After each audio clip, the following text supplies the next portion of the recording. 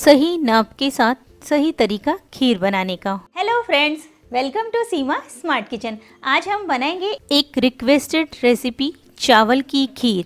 पर आज इसे मैं अपने मम्मी के तरीके से बनाऊँगी, जो बहुत ही स्वादिष्ट बनती है और एकदम परफेक्ट मेज़रमेंट के साथ है। चलिए देखते हैं इसे कैसे बनाते हैं।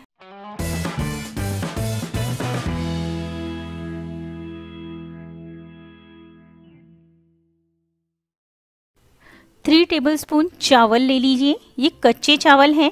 आपके घर में जो भी चावल अवेलेबल हो, वो ले सकते हैं नॉर्मल वाले। इसे दो से तीन पानी से अच्छे से धो लेना है। पूरा पानी निकाल के साइड में रख दीजिए जब तक हम सब तैयारी कर लेंगे। काजू, बादाम, पिस्ता और चिरौंजी ली है। इन्हें थोड़ा दरदरा कूट लेना है। ड्राई फ्रूट्स थोड़े से कम या ज़्यादा ले सकते हैं। ये है खजूर सूखे खजूर के छोटे टुकड़े कर लेने हैं और ग्राइंडर में डाल के ग्राइंड कर लेना है, या तो फिर नाइफ की सहायता से छोटे टुकड़ों में कट कर लेना है। इससे खीर का टेस्ट और बढ़ जाता है। अब एक फैलते हुए पैन में वन टीस्पून घी डालिए। घी गर्म हो जाने के बाद इसमें डाल दीजिए भीगे हुए चावल। चावल को हमें बहुत देर नहीं भिगाना है, पाँच से छः मिनट भिगाना है, उससे ज़्यादा नहीं। और अब इसे एक से डेढ़ मिनट तक लो फ्लेम पे भून लेना है। उसके बाद डाल दीजिए खजूर का पाउडर या फिर खजूर के टुकड़े जो भी आपने तैयार किए हैं। एक से डेढ़ मिनट और भून लीजिए लो फ्लेम पे। इसी समय इसमें डाल दीजिए केसर के धागे। थोड़ा सा चला लीजिए और तुरंत ही डाल दीजिए दूध। दूध मैं यहाँ पे फुल फैट मिल्क यूज़ कर रही हूँ। आप भी यही यूज़ करें, इससे खीर बहुत अच्छी बनती है। अब फ्लेम को हाई कर दीजिए और लगातार चलाते हुए इसमें एक उबाल आने देना है। पर चलाते रहिए, इसमें के फैट्स अलग नहीं होने चाहिए, मिक्स होने चाहिए। अगर आप दूध को नहीं चलाएँगे तो चावल नीचे चिपक सकते हैं। जब तक चावल थोड़े से कुक ना होने लगे, तब तक चलाते रहना है और या तो फिर दूध में एक अच्छा उबाल आने लगे।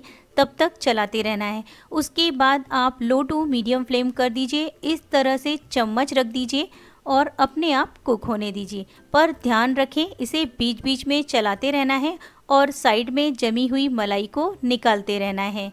लगभग 20 टू 30 परसेंट रिड्यूस होने दीजिए। इस तरह का दिखने लगेगा। लो फ्लेम पे खीर को बनाते हुए 20 मिनट हो चुके हैं। उसके बाद चेक करके देखिए चावल को। अगर चावल अच्छे से कुक हो गए हैं तो ही चीनी डालना है। अगर नहीं हुए हैं तो थोड़ा और कुक कीजिए। चावल कुक होने के बाद ही चीनी डालना है। अगर कच्चे चावल में आपने चीनी डाल दी तो चावल अच्छे से नहीं पकता है। चावल अच्छे से पक चुके हैं। अब इसमें डाल देंगे चीनी। चीनी भी आप अपने टेस्ट के अनुसार कम या ज़्यादा ले सकते हैं। मैंने हाफ़ कप से थोड़ी सी कम ली है। साथ ही इसमें डाल देना है दरदरे कुटे हुए ड्राई फ्रूट चीनी डालने के बाद एक बार फिर से ये थोड़ी सी पतली या फिर रनी हो जाएगी।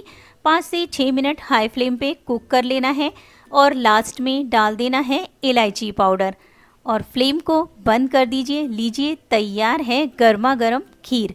पर खीर ठंडे होने के बाद ज़्यादा टेस्टी लगती है, इसलिए इसे थोड़ा ठंडा होने दीजिए। ठंडा होने के बाद ये अच्छी परफेक्ट गाढ़ी हो जाएगी। वाओ, देखिए कितनी टेस्टी दिख रही है। आप इसे ज़रूर बनाएँ, ये रेसिपी आपको बहुत पसंद आएगी। खजूर का जो मैंने दरदरा कुटा हुआ पाउडर डाला है, उसकी वजह से खीर का टेस्ट कई गुना बढ़ जाता है। आप इस रेसिपी को ट्राई कीजिए कमेंट करके मुझे ज़रूर बताइए। साथ ही फ्रेंड्स फैमिली के साथ शेयर करना बिल्कुल ना भूलें। लास्ट में आप इसे डेकोरेट कर सकते हैं ड्राई फ्रूट से। और अगर आप चैनल पे नए हैं सब्सक्राइब करके बेल बटन ज़रूर प्रेस कीजिए। इससे आपको रेसिपी अपलोड का नोटिफिकेशन तुरंत आ जाएगा। मिलते हैं एक न्यू रेसिपी के साथ। Thanks for watching bye